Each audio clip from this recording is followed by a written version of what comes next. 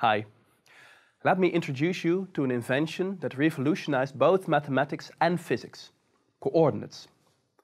You are probably already familiar with this concept. Think, for example, of the coordinates that Google Maps can provide for any location on Earth, or the coordinates used by graphics software, like Photoshop, to indicate the position of the mouse pointer on your screen. These two examples show precisely what coordinates are, a set of numbers to indicate a position. To understand how you can use numbers to describe position in a plane, let's take a step back and look at positions on a line. To indicate position by numbers, we need to make a couple of choices. First, we choose the point with position 0. This is called the origin. For each other point on the line, we can measure the distance to the origin, let's say in centimeters, and this way we can associate a number to each point. There's one problem points with equal distance get the same number. We can solve this by using positive numbers on one side of the origin and negative numbers on the other side. This way, each point gets a unique number that indicates its position. How to extend this idea to the plane? The solution to this problem is generally attributed to René Descartes, a French mathematician who lived in the first half of the 17th century. His idea comes down to the following. Pick two lines in the plane that intersect at a right angle. As before, we can associate a number to each point on both lines. As origin, we take the point of intersection of both lines. For each line, we choose a positive side, here indicated using arrows heads. Then, we use our ruler to associate numbers to points on the lines. Now, Suppose I am at the origin and you are at some other point in the plane. How can you tell me where you are? Well, I can reach you by first moving along the first line and then parallel to the second line.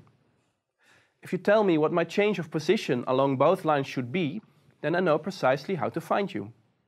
This way, you can encode your position in exactly two numbers.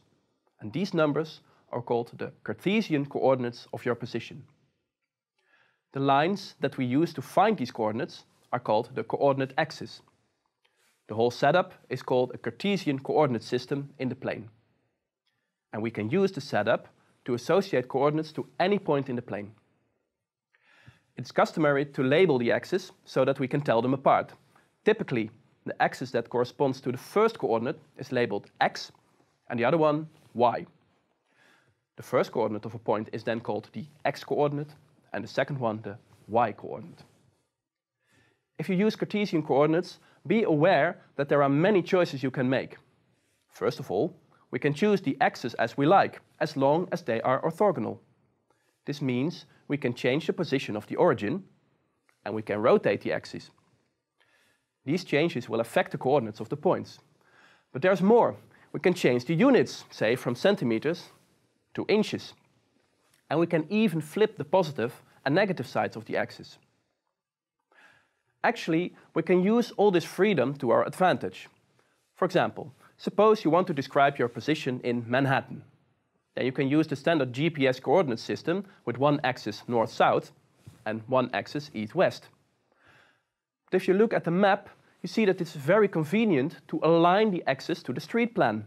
One axis parallel to the streets, one parallel to the avenues. Most people giving direction in New York will use this streets and avenues coordinate system to describe how to get from A to B. Coordinates are so common nowadays that you probably wonder why they were so revolutionary in the 17th century. The reason is that this concept bridged the gap between two very different fields of mathematics, geometry and algebra. You will see more about that in the next video.